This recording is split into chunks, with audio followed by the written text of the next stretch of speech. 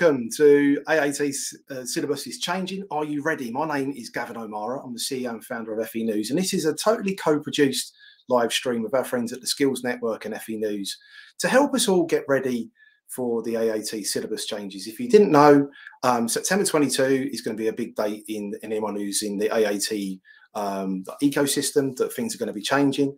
We're changing from AQ 2016 to Qualification 2022, better known as Q um, 2022.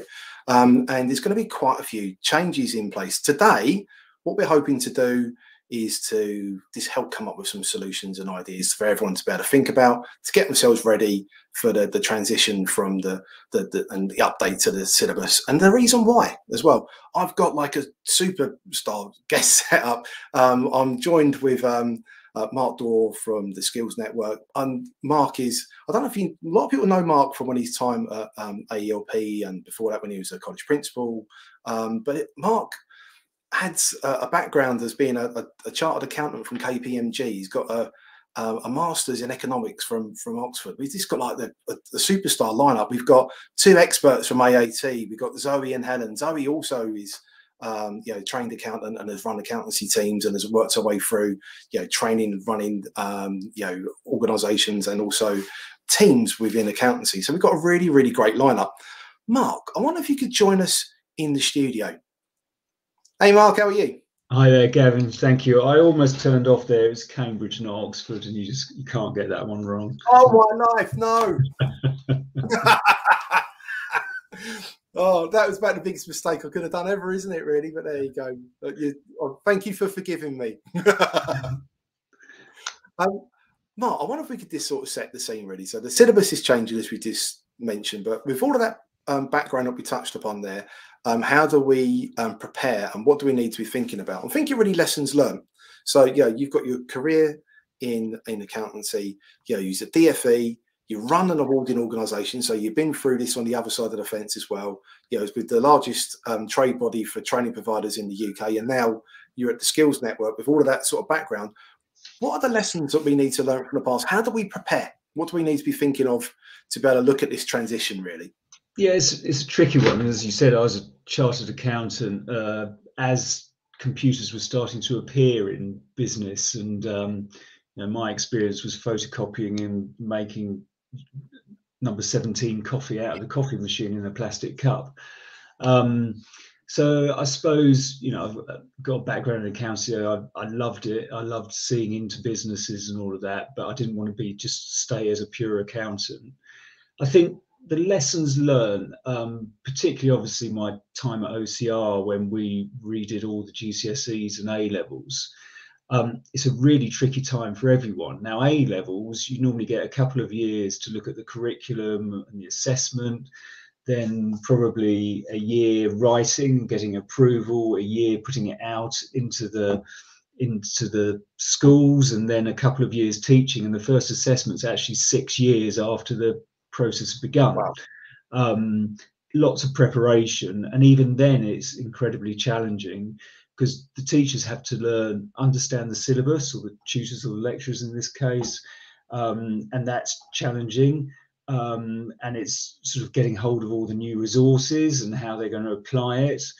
Um, it's new for the tutors and the learners, so you don't have lots of past papers, you don't have the understanding of how questions are going to be asked, how the subjects interrelate within within it. And generally, you do see a dip in performance, uh, not only overall, and you can adjust for that through um, your marking scheme, but different centres will perform in different ways compared to how they used to, depending on how well the tutors in particular brought it up. So it's, this is probably the biggest change for 20 years in, in AAT, um, significant changes which we'll hear about and that's going to be really really challenging then as a principal and ceo of an itp you know every learner is different we know that yeah. um, and individualized learning is really important but how do you do individualized learning with large groups with limited funding um, and those learners have also got really busy lives a lot of times the retention issues with learners nothing to do with the learning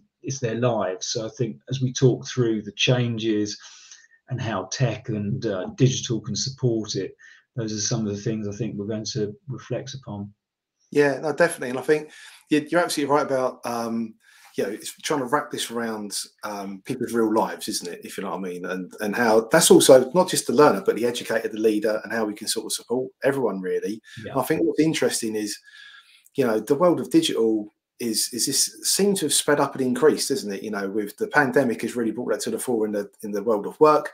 And I'm sure we're going to be touching on that in a minute with our friends at AAT. But I think it's just interesting that people's roles and the way work is has changed, isn't it? And the, also the way that people expect um, to have like education and those support services wrapped around their everyday lives is interesting as well. It's really, I think it's really exciting, but it's really sped up. It's exciting on the other side of the fence, but not if you've got to deliver it. it's the yeah. thing, you've got to bring that together.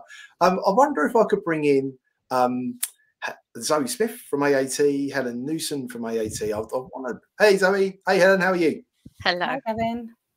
Thank you so much for joining us today, and thanks. I mean, this is a really important session for a lot of people because we all want to be able to do well by the learner. We all want to be able to um, you know, do well by our, our, teams and also equip our leaders to better deliver that as well.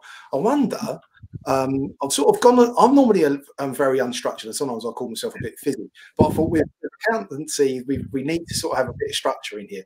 So I've sort of, I'm experimenting and trying out some of these little headers and stuff like that. So I wanted to ask you guys, the AAT syllabus is changing.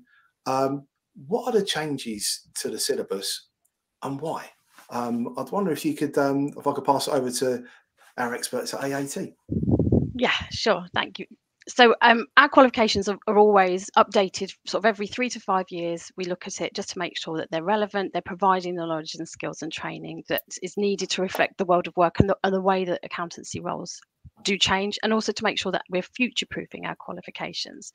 So back in June 2019, we commissioned the Warwick Economics and Development Limited and Nottingham Trent University to carry out research on our behalf to look at four key areas of the impact of technology on accounting professions, the changing role of uh, accountancy, the drivers for change, and also the skills for success in, in the future. So they carried out an online survey with over 530 different accounting professionals, businesses globally, to be able to sort of talk to them and ask them what their views are, what was needed, what were the impacts, what were the drivers, what were the changes. Uh, they carried out 15 interviews and then with, with key employers and then they brought together four focus groups where they also um, in, included uh, software developers as well to be able to gauge their input um, and to answer this. And so, out of that research that they did, some of the key highlights for that of the changes that they recommended we put into uh, the content of the qualification is about the fact that actually it's the changing in the role of a technician is is through the emerging technologies that we had coming through. So making things much more automated.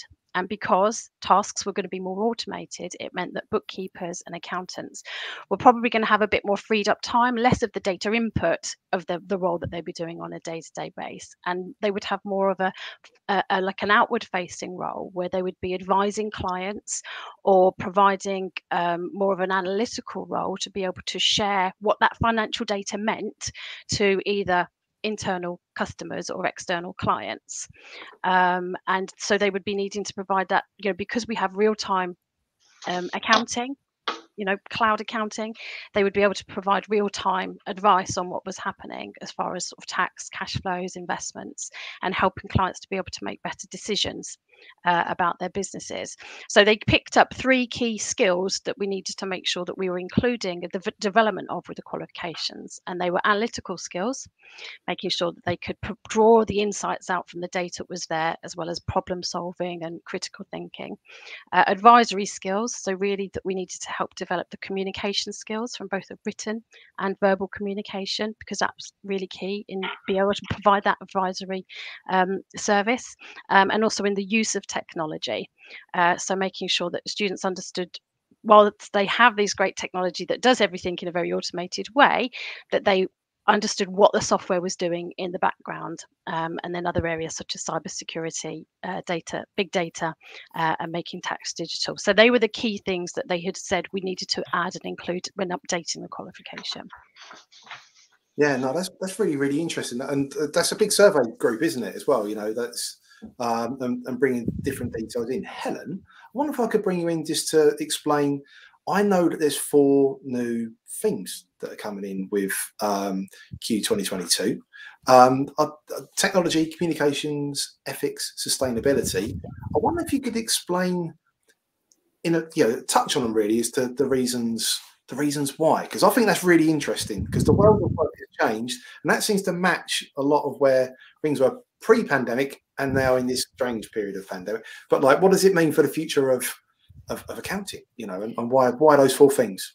Absolutely. So, sort of touching, obviously, coming from the um, the recommendations that the research um, provided for us, and and what Zoe was then sort of discussing there we've always had those areas within our qualifications in kind of different elements in different ways. You know it's it's not new that we're talking to our students around communication the ability to write about what the numbers mean and and you know the the importance of ethics in within the world of an accountant and those sorts of things. But i think what we've done is obviously learning from that research and and we've we've drawn on those areas knowing that that is where the um where the industry is going where the role is going in the future. Um so we've just given them a little bit more gravitas within within the the qualifications. Um, and we've actually brought them in right at the beginning. So obviously we have four different levels of qualification. Um, under the new syllabus under q 2022 they're referred to as level one level two level three and level four. Um, and we're bringing in kind of a very high level introduction of each of those four elements those four kind of key business areas is the way we're talking about them key business themes they're being introduced at level one. So any any student studying one of our level one qualifications will get an understanding of what these four themes are and why they're important within a role.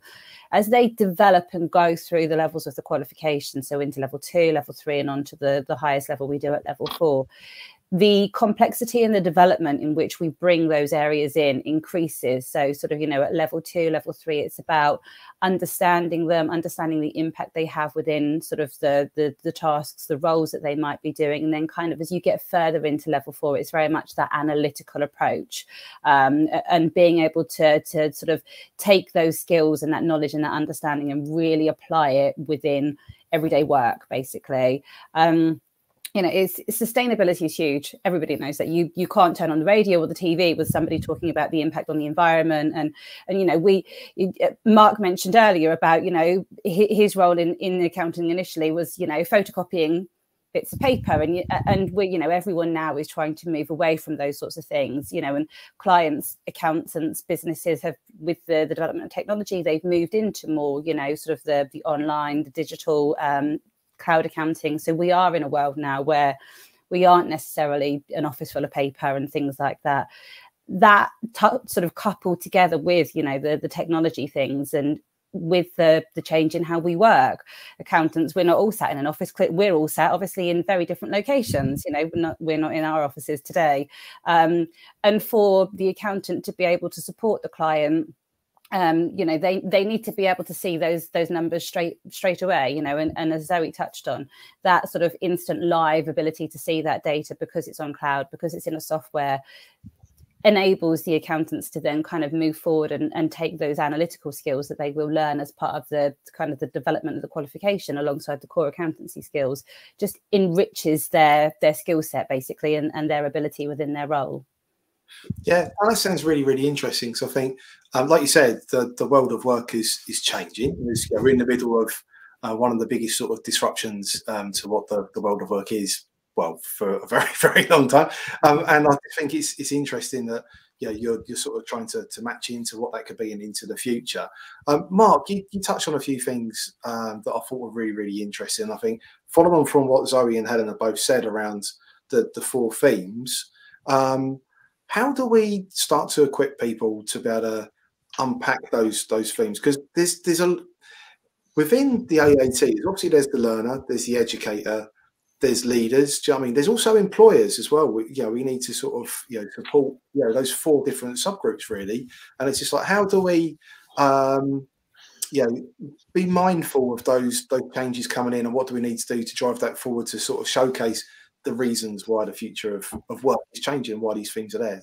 Mark, I didn't know if you wanted to sort of unpack it at already. Yeah, I mean, those four themes, it's no surprise, is it? I mean, they're they're right up there in our in our lives and in our working lives. So um, and a lot of accountancy is about reflecting a business. You know, uh, it's looking at the business, whether you're an auditor or an accountant within the business, and those are becoming key factors. The, the, sort of sustainability audit and all of those things, and ethics and corporate social responsibility. I think it's really interesting just hearing Zoe and Helen talk. You're seeing the skills requirements being pushed down the levels because actually those jobs of photocopying and making coffees for the partner have gone. Um, you don't, you know, don't have to use a machine anymore. You can go to Costa. They didn't. Costa didn't exist in my day. Um, so uh, it's it's it's actually more challenging in some ways, but I think vastly more interesting. Um, but you're you're coming in. My my year of photocopying and doing the sort of the bank rec and stuff like that gave me a very very base understanding that I could build on. We're not we're not going to have it in quite that way in the future. So the learning and applying this, and if you think um, uh, communication again, obviously really important. Um, as, as a young accountant, uh, used to have to go into a manager review and a partner review. Um, you know, one partner was famous for throwing files out the window if he didn't like what was in there and, and you had to learn to communicate and explain what you were doing. You had to learn to communicate with the, um, in, in, my case as an auditor, with the, the client and, and ask the right questions in the right way to get, you know, you're probing around and then you're running a team as well. So um, probably no different to many other jobs. In terms of tech, again, you know, when I joined KPMG, they were just getting Apple Macs in for the first time. Um, and I'd, I'd had the benefit of, um, I'm a bit sad, I started working for an accountant when I was 14. Um, and he got SuperCalc, the first spreadsheet, and I learned that. So when I went to KPMG, I started using that. I was sort of the only one in a way. Now, you know, you can't do the job without a full understanding of the tech. So really important stuff, really important. It's all blended into the learning, but I think will be a, a new challenge for the for the the accountancy firms, for the employers, and obviously therefore for the individuals who want to enter the profession and and those that are teaching them. It's a very different mindset. The the teachers, the lecturers um, won't have experienced some of this stuff practically in the same way.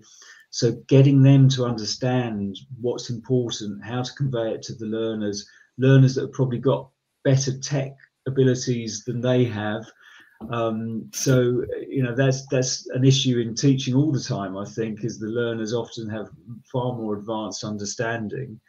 Um, so so yeah, I think uh, really important changes, but also a real challenge to to to everyone to make sure it works.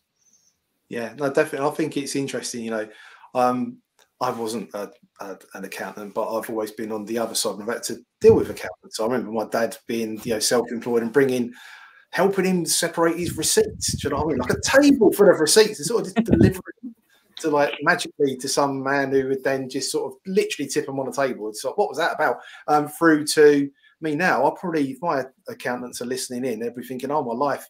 Um, I, I have to get them to explain stuff to me constantly as to what does that mean then and how do we sort of make sure um, we're delivering this. So I think it's really interesting about the ethics side of things because before – yeah, the, the pandemic, there's all sorts of areas around how do we make sure that we're being ethical with with what we're doing with with tax in, in particular.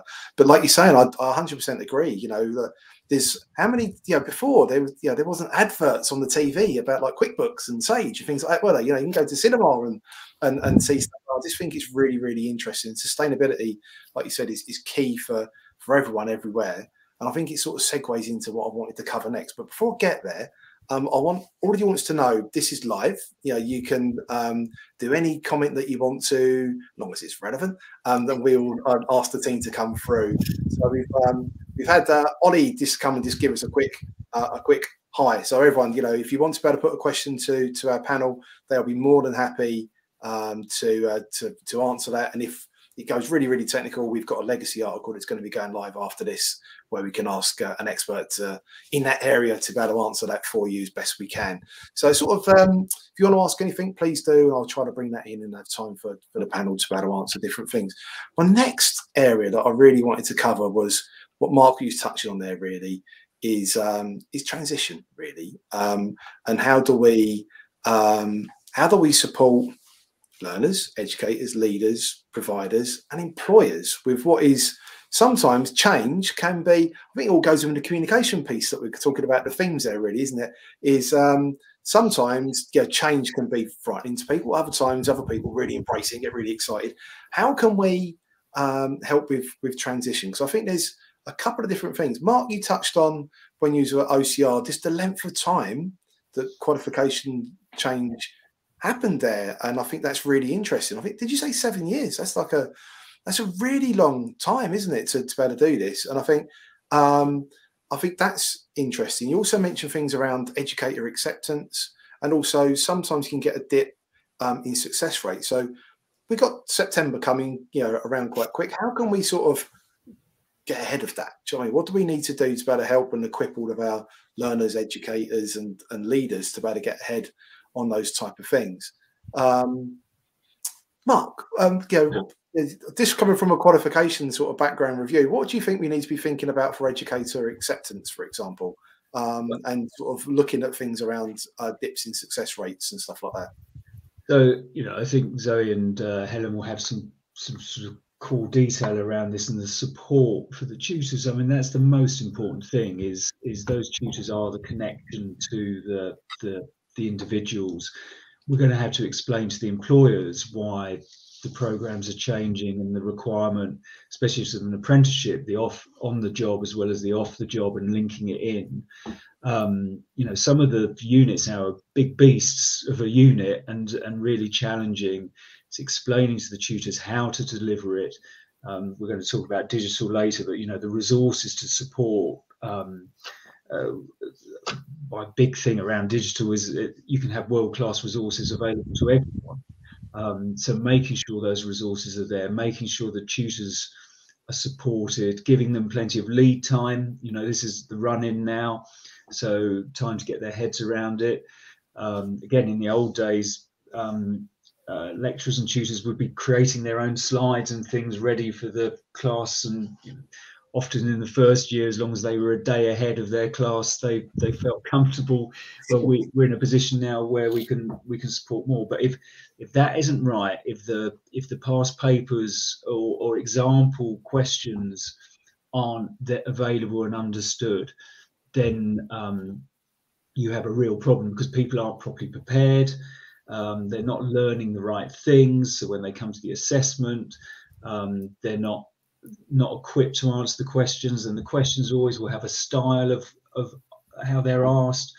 Um, exact, there's nothing wrong with exam technique. There's nothing wrong with teaching to the test, in the sense that you need to understand how you're going to be asked something and how to convey something. And those are some of the things that, in the early years, always are not as good as once something stable. And it's trying to get everyone up to a good enough level early on. Uh, and I'm sure AAT have got a way of sort of balancing that out in the early years um, as people are getting used to how things are done. Yeah, no, definitely. Uh, uh, Zoe, Helen, I wonder if I could ask you. I mean, there's always going to be that cohort of learners that are moving from one um, qual to, to the other, and that's a massive part of transition, isn't it? Really? So, um, maybe if you could explain like the plans around um, those learners which are on AQ 2016 that are then going to move to qualification 2022 or Q 2022. Um, what's the plan around supporting those learners, but also supporting the educators that are supporting those learners? If you know what I mean. What's the what's the plan in in place? I know you've got one. Uh, we um, as you sort of touched on earlier on, a lot of this is all about communication and it's about helping them and understanding them and and giving them time as well. We've actually been talking to the providers, the educators um, since 2019 about this um, and students a little bit after there. Obviously, there's there's been sort of elongations in some of the time periods around the delivery of the qualification but we've we've spent a good 18 months to two years actually really helping the educators and the students to understand what that transition period will look like because there is about a year um, from when we go live with q 2022 on the 1st of september until we finally withdraw the the aq16 qualifications and students are no longer able to sit those assessments at the end of september 2023 um, and we've been talking to them both on, on either side and also actually to the employers um, and mark touched on a really good point there about the apprenticeships and i'll, I'll come back to that shortly but um,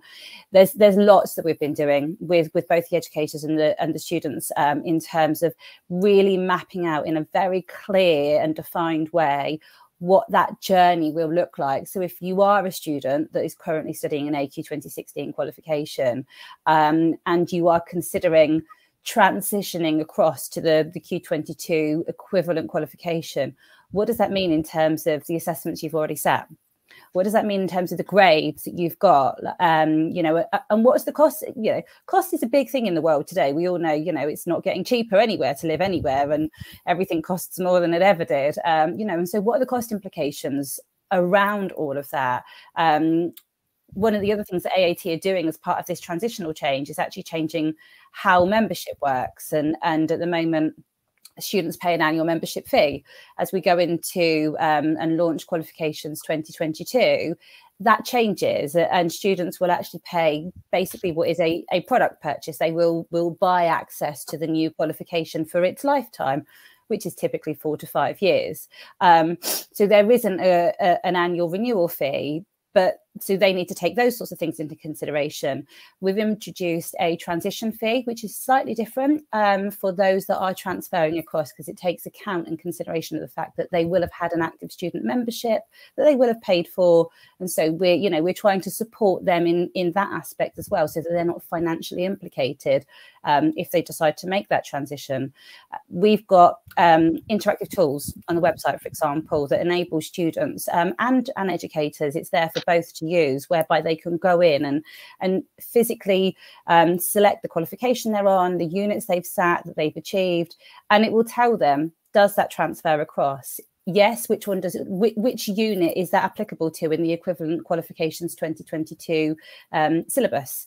So they can see a real clear indication of okay if i wish to make that transfer what does it actually mean to me? Will i have to sit extra units? Will i have to study something different? Um, you know so all of those sorts of different things as i say we it's all there for the educators as well.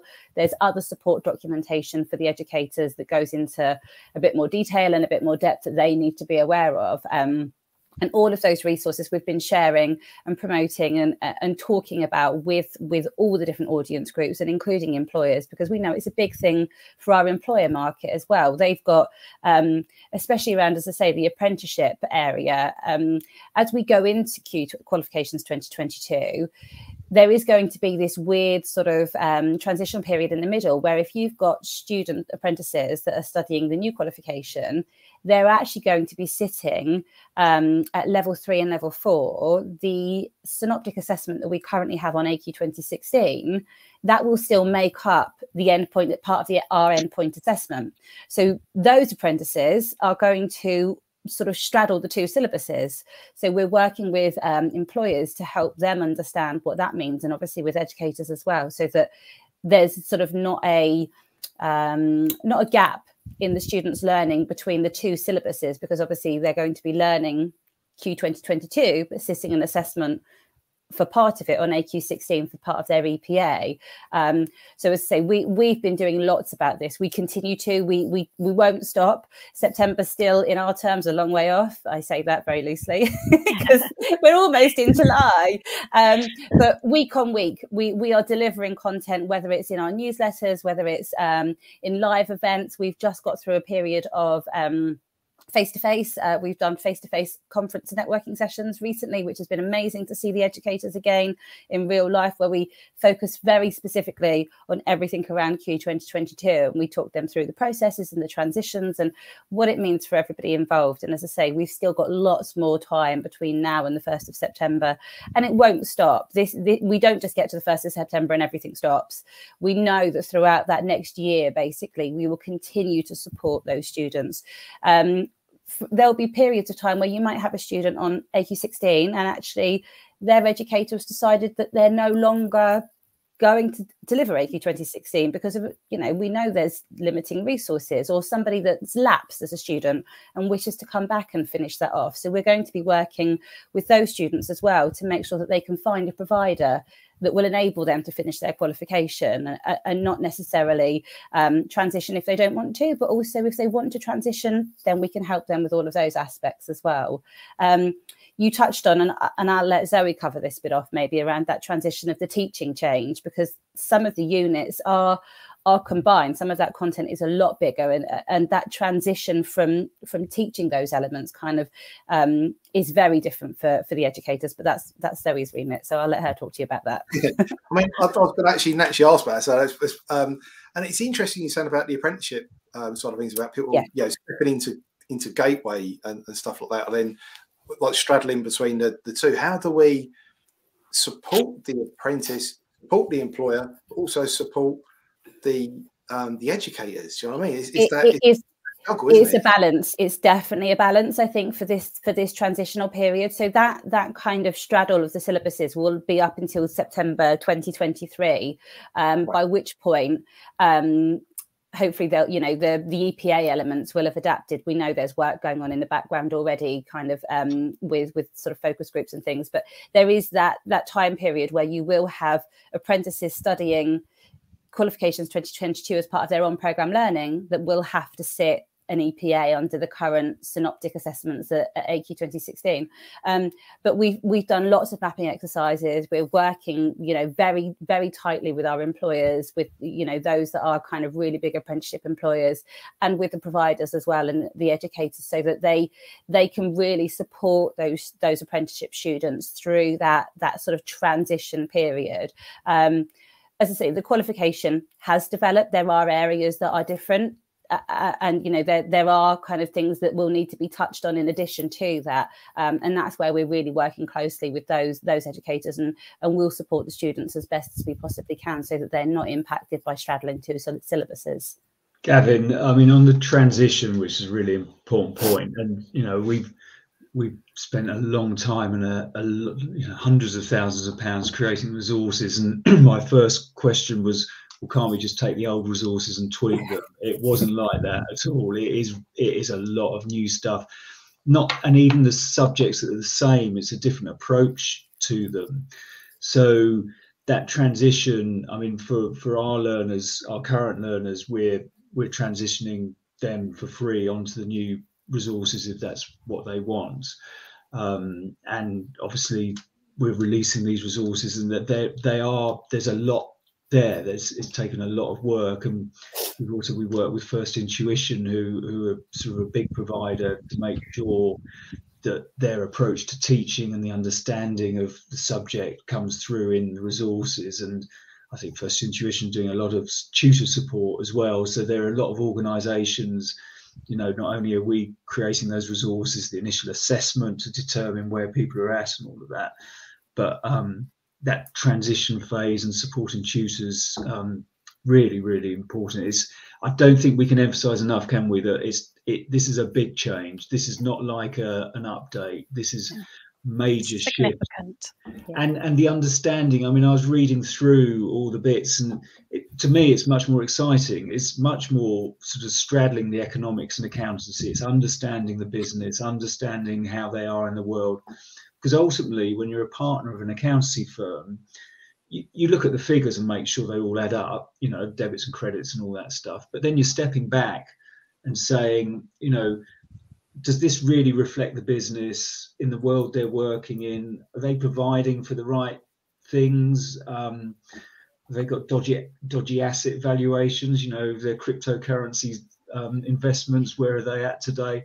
And you need to know that world, wider world to be a good accountant, and that's that's what's being started right at level one, level two now, which is a big shift. It's a, yeah. um, Mark, what Mark touches on there about resource and support resources. Um, our learning services team have spent the last three years developing a complete new suite of qualification support, basically. So for all of the new qualifications that are being launched, there is hundreds of pieces of resource now that all brand new, all rebuilt entirely specifically for this this assessment, these qualifications, um, and also to reflect. Um, obviously, we touched on earlier things like practice assessments, um, so that they can get familiar with what those assessments look like. To to make it even more complicated um, and and to make it even bigger. Come the first of September, we're not just changing the syllabus and the qualification, but we're changing the assessment platform too, because you know we don't do things by half at AAT. Um, so you know uh, providers, educators, students have, have also got to get familiar potentially if they're transitioning with a different style assessment platform.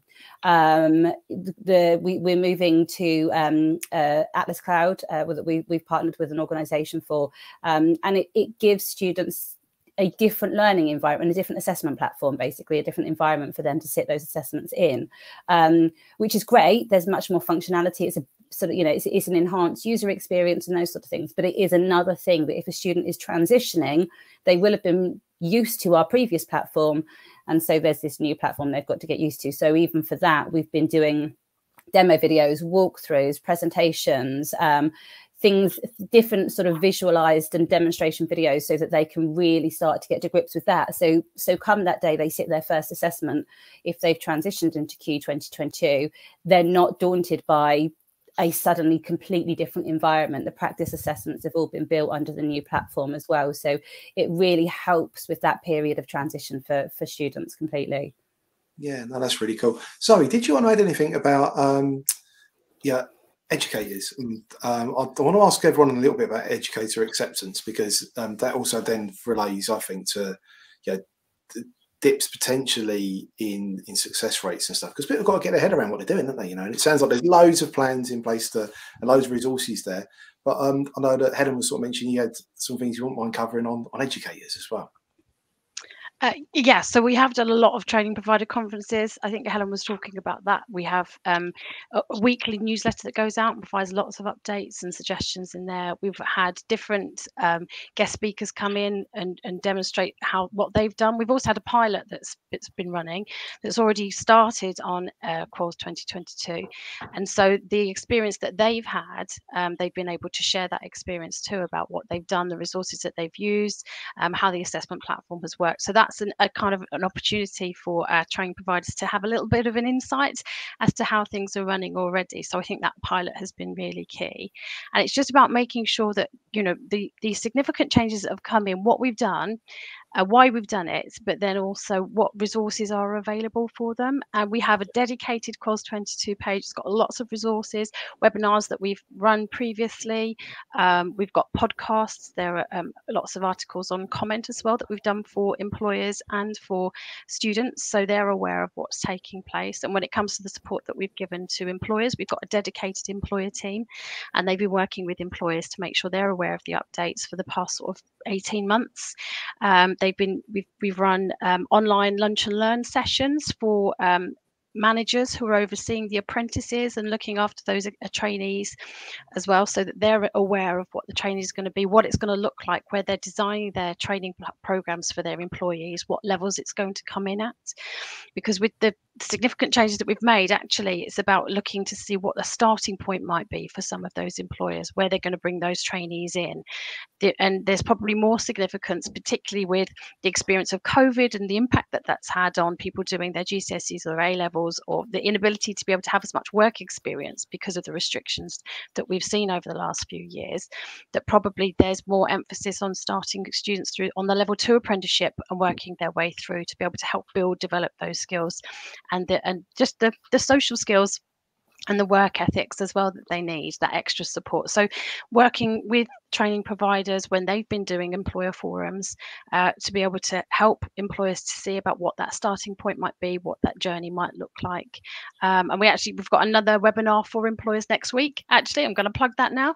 So uh, it, um, to be able to help them, that's all about get prepared for the launch of Quals 2022 that's taking place to be able to help employers we have bite-sized videos that takes them through the th themes, how employers will benefit from the new themes that's being introduced earlier and woven all the way through, and what that relevance is for businesses and what that looks like.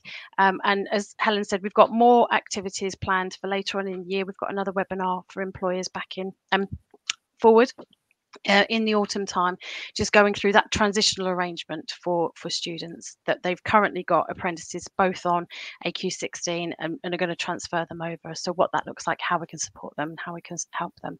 So we do feel that we've got a lot of different areas, um, and if any training providers or students or employers have got any queries or questions, we do have dedicated contact numbers um, on the areas of the, the AAT website as well to, to come in and to contact us if they need any support. Yeah, no, that's really interesting. Mark, I if I could ask you something. You know, um, your previous role, you dealt with, you know, mainly leaders in in training providers and all of the pressures and understandings that they got in in their different different roles.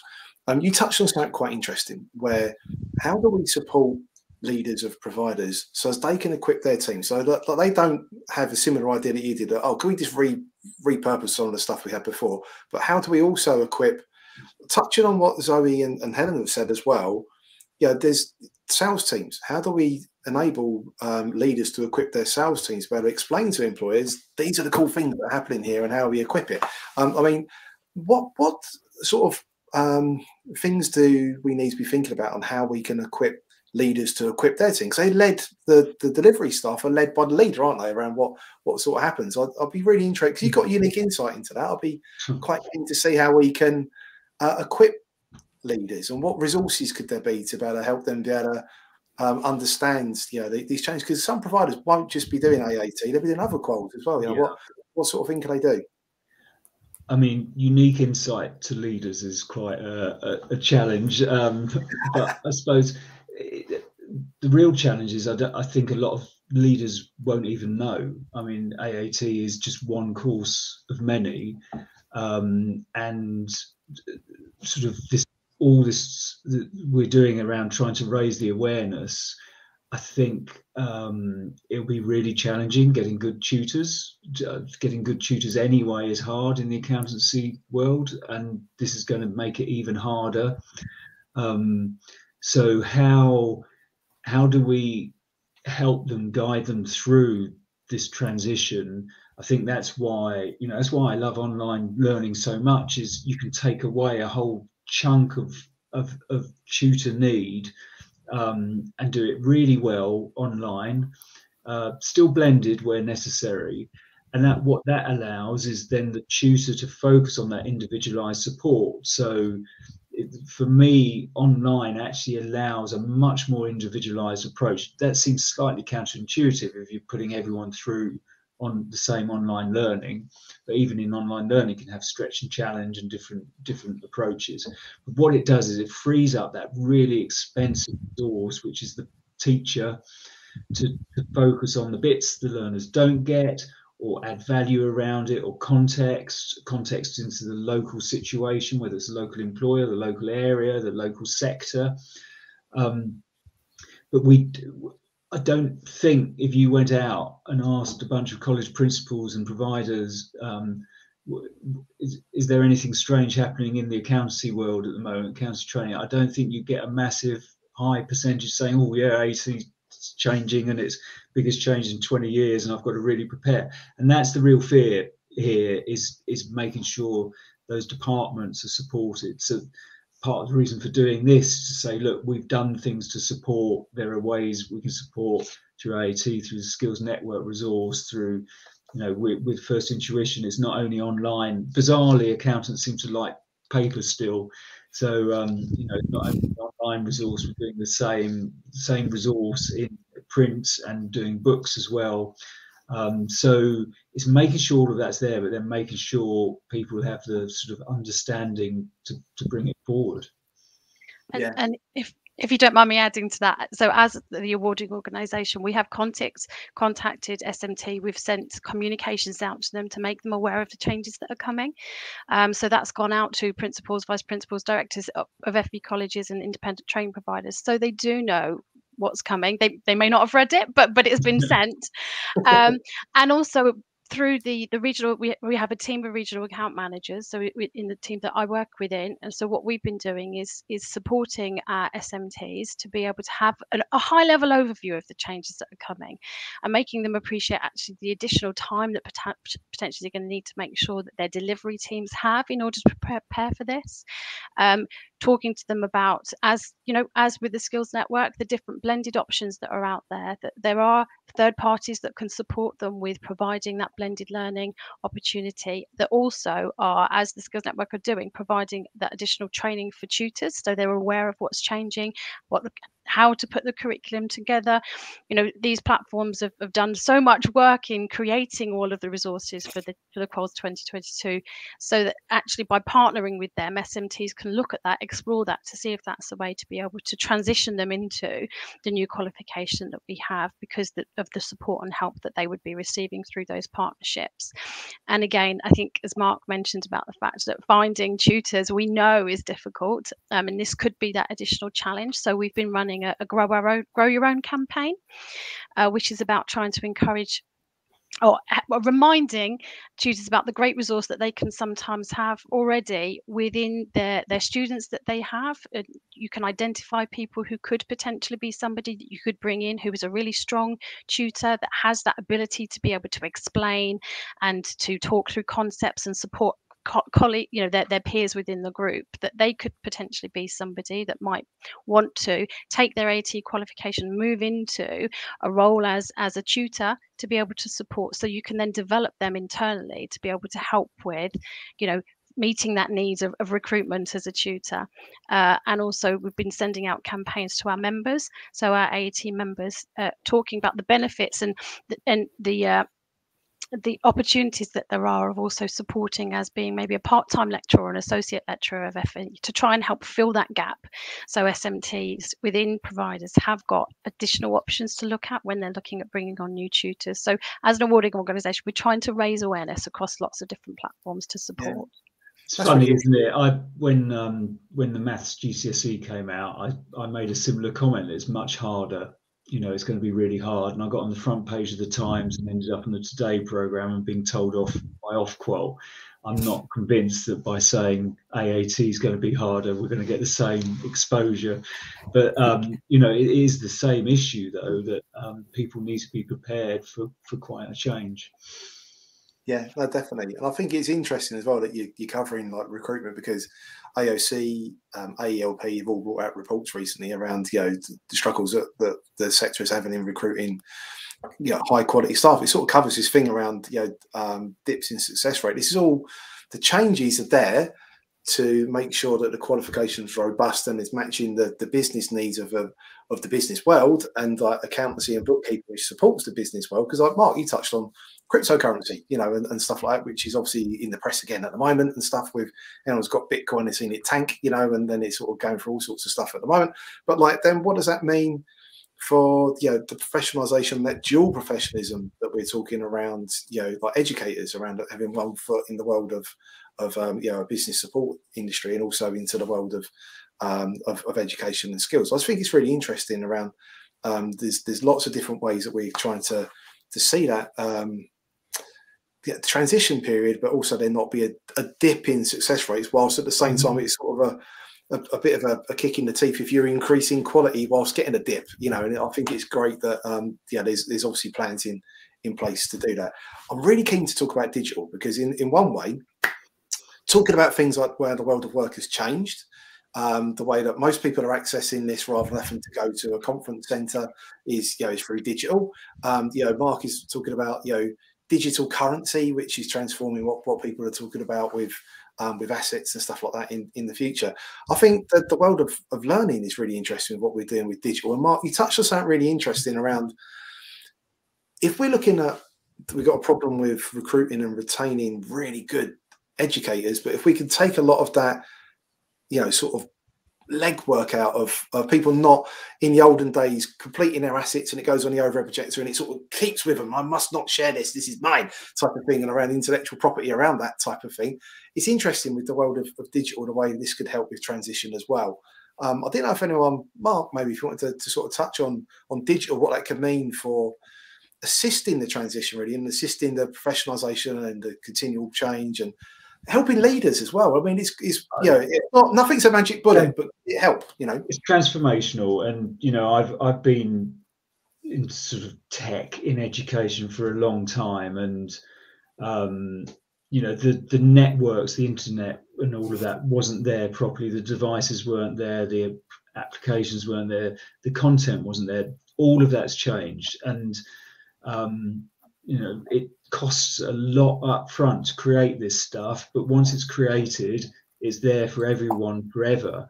Um, I do joke about the cocktail between Heineken and Martini. So, uh, you know, Heineken ad was uh, uh, reaches the uh, reaches the learners other providers don't reach, and Martini anytime, any place, anywhere. But it's sort of, you know, the digital. Um, it it, we all have busy lives. A lot of our learners on other, other courses as well as AAT would not walk into a classroom because they've got busy lives, shift work. It just doesn't work for them. So for them, it gives them access. It's actually digital inclusion rather than exclusion. But also for those that are in the classroom, the ability to have that resource available. They can sit away from the rest of the class if they don't understand something, go through it time time again. No shame, no shaming there, sort of by just taking their time. Others can accelerate through. As a leader, I mean, if I, as a college principal, if I'd been able to press a button and see where every single one of my learners had got up to, how much time they'd spent on something, what day they last did it, um, how they were all performing against each other, how my tutors were performing, how the units were performing. You know, that is a phenomenal amount of information and at the Skills Network, we have that as a press of a button on our analytics of for every learner, 30,000 learners that we have going through. So digital, uh, the initial assessments and, and being able to, to put someone through um, diagnostic so they we can understand um, what they do and don't know. You can do the English, the maths, the cognitive ability as well alongside that to see, well, actually, their English skills, their literacy skills are a bit lower, and you know even with a maths based well, accountancy isn't really maths based anyway; it's an art rather than a science. Um, but you know, uh, uh, being able to understand actually they're going to be quite weak in some of these literacy areas, um, so they're going to need some support. It it just is transformational now. It takes a shift in mindset for both the tutors and the learners. Um, and you, your thing about hugging the acetate, I mean, uh, I think education traditionally has been appalling at sharing, absolutely appalling. Uh, here's the chance there actually to share things at a fraction of the cost it would be to create themselves, but then to free up their time. I think it professionalizes tutors and lecturers even more because then they're not doing the grind of teaching through a textbook type of thing. That's being taken care of for them um, world class examples, guest speakers online, and then they they can do the stuff that really matters about that understanding of learner and how they're progressing, the stretch, the challenge, the support where they're dropping behind.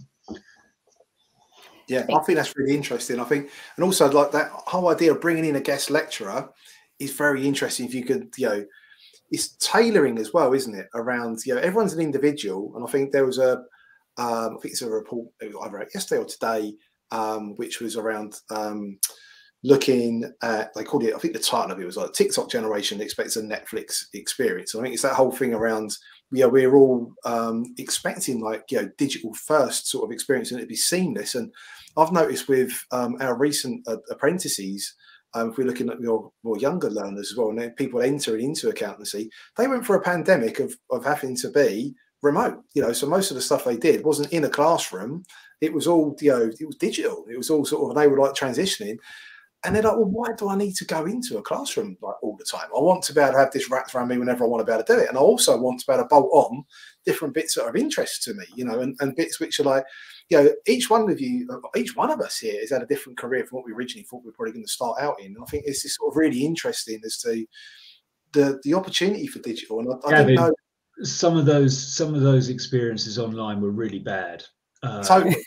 and and you know, and we were discussing beforehand our variety of ages of children, and and it was not good for a lot of them. And one of the things we have to do is explain what good online learning is 100%. and also blended and when no one's saying take away the classroom different different things for different people um, but really good we we i have sort of e-learning scientists um, uh, fascinating roles. They understand the pedagogy that you know they're applying what the regulators ofsted and ofqual you know that intent implement impact all our resources developed on the back of that understanding, all our resources developed on what Ofqual will require through the assessment and supporting that.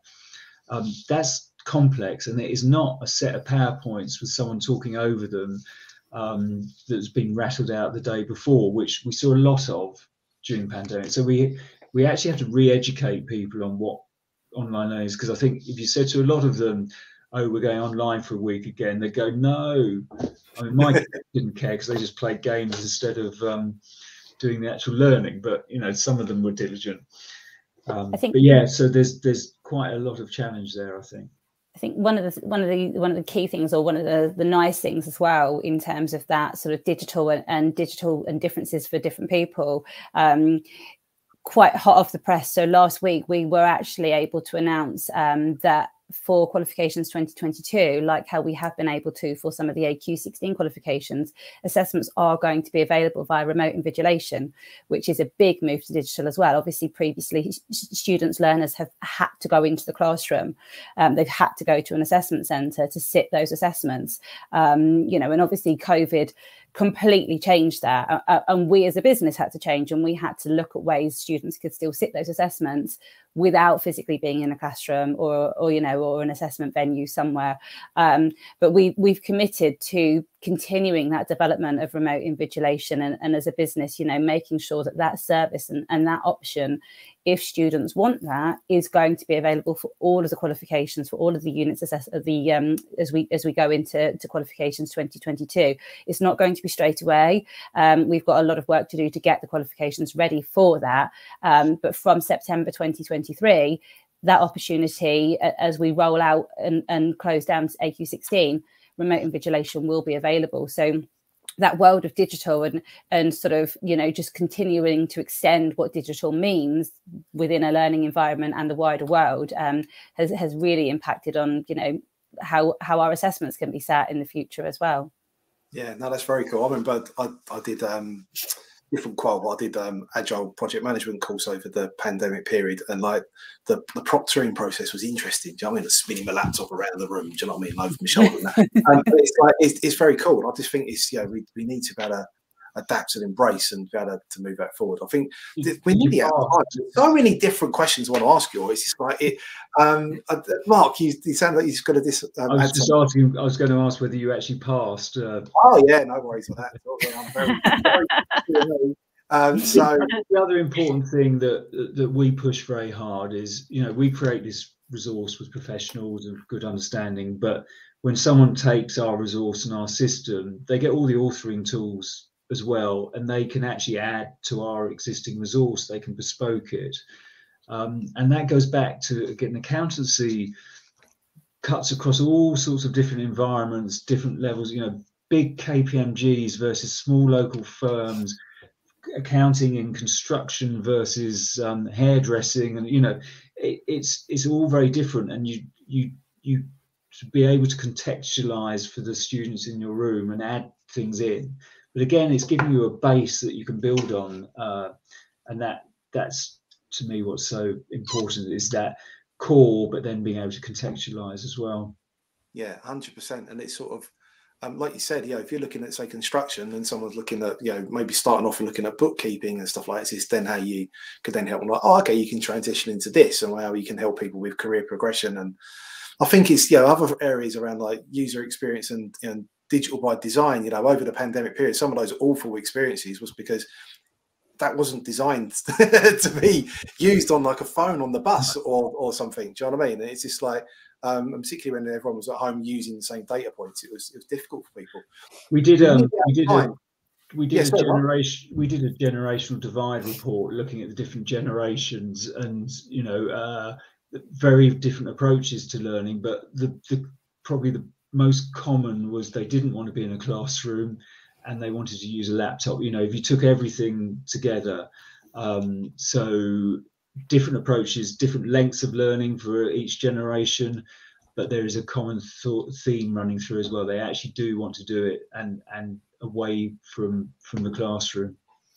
Yeah, I think I, I just think it's really interesting of, of, where we're at with this stage, really of of learning, of work. And I just want to say thank you everyone for for yeah taking time out today to be able to help people be be ready.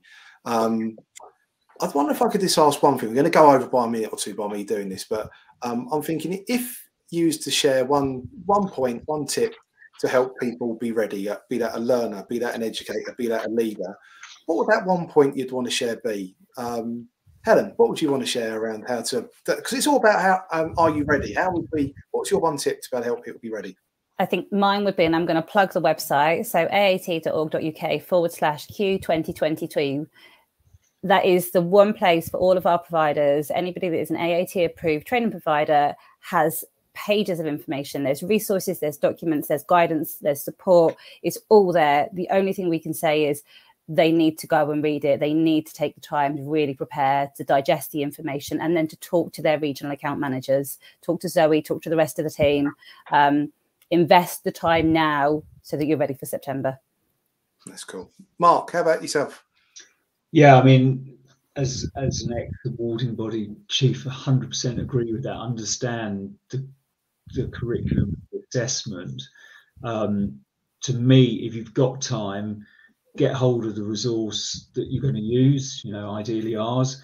And if you've got time, do some of it. Understand, you know, understand what what the messaging is, how it's changed, because there's nothing like experiencing it to get a feel for what you're going to have to be doing. Yeah, no, that's really cool. Zoe, any one tip you'd want to give?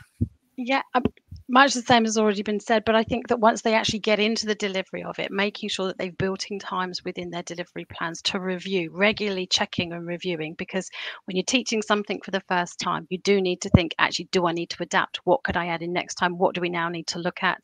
So opportunities for consolidating learning, checks on learning all the way through, so that they can just make sure that they're kind of tweaking it and refining it as they go through when they're delivering something for the first time. So they have the best chance of being able to support those students students for a successful outcome when they sit the assessment. Yeah, no, that's really cool. At time I've, I've gone over, and, and thank you everyone for your for your time today. Mark, thank you. Helen, Zoe, it's been really, really helpful. I think, and audience, I hope you've really um, found that a, a helpful um, hour. This has totally been co-produced between the Skills Network and, and FE News. So it is um, credit where credit is due. Eleanor has, worked her socks off to, to co-produce this, and Eleanor, thank you for all the hard work that you've put in. Leah in Team FE News and Finley, thank you so much for all the help you've done in the background as well. Everyone, I hope you enjoyed today. Thank you so much for joining us.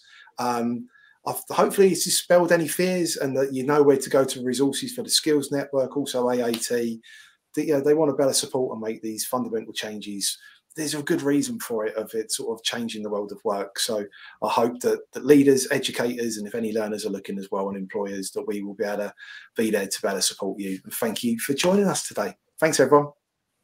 Thank you.